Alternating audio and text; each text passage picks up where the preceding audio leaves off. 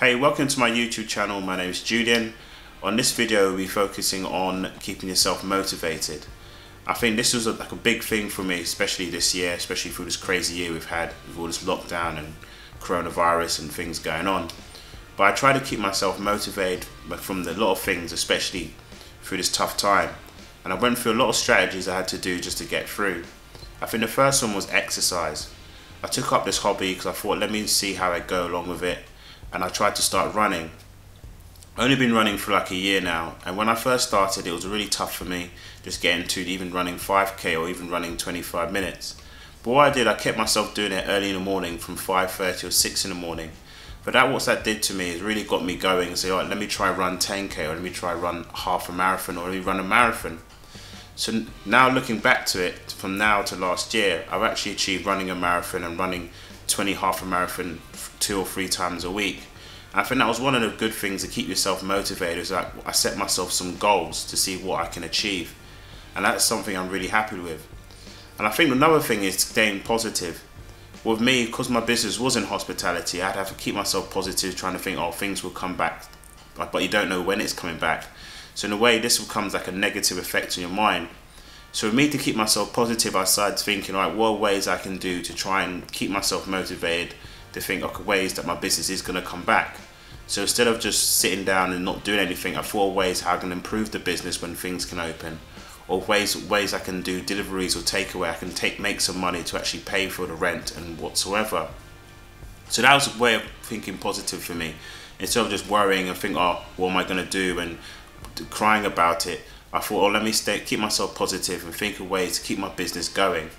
But that's a really good motivational strategy for me. Another thing is setting goals. Like I'd like to set big goals because setting it too small and it's achievable, it's not that great. But the higher the goal, is better for me to achieve. So with me, I said, oh, let me try run a marathon this year. I managed to do it. Let me try run half a marathon in, in less than one hour and 50 minutes. I did it. I set myself large goals, like even with my business, I'm gonna open up another four or five venues in the next two years.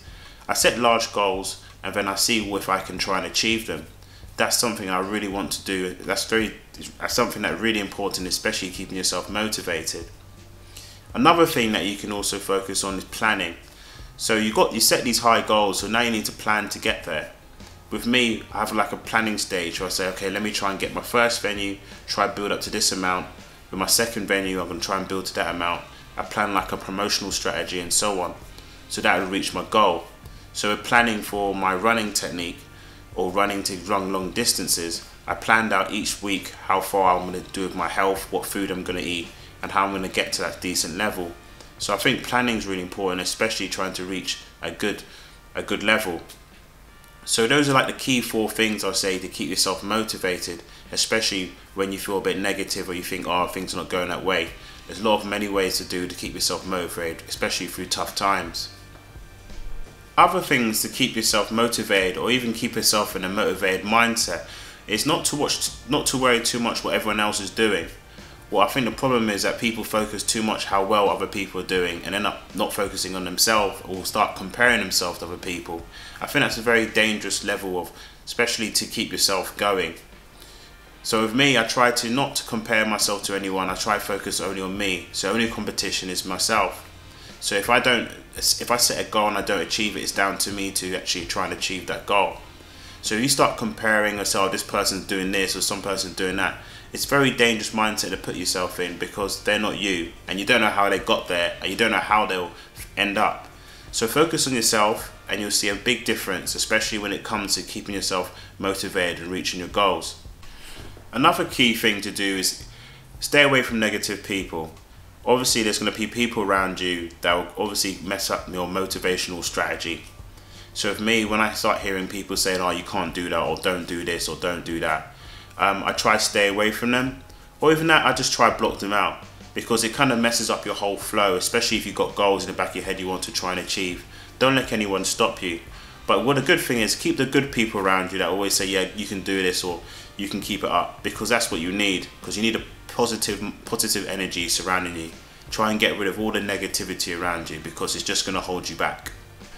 Obviously, it's great to keep yourself motivated, but it's also to keep it's good to keep yourself humble. like with me, I try to appreciate all the things I have as well.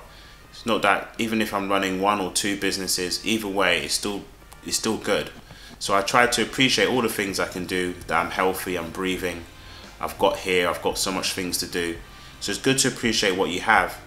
So these are like things I do, especially to keep myself motivated. Like even writing down the goals, plans, what I like to what I, what I like my what I like to achieve in my lifetime, um, positive energy, keeping away from negative people. It all adds up to a great motivational strategy.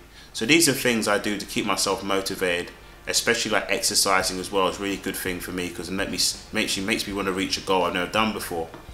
So yeah, um, this is the end of my YouTube. If you'd like to like and share and share with anyone, but yeah, subscribe below. Let me know what you think.